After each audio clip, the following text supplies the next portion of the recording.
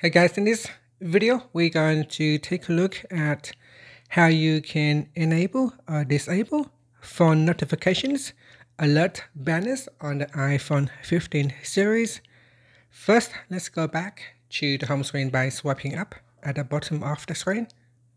From the home screen, tap on settings. Then in the settings screen, you want to go down and tap on the phone application Next, in here, tap on notifications, then go down to the alerts section and tap on banners. So tap on the checkbox to turn on or turn off banners for the phone notifications. When you turn on banners, you also get to choose whether you want to display the banner type as temporary or persistent. And that's it. Finally, you can swipe up to go back to the home screen. Thank you for watching this video. Please like and subscribe to my channel for more videos.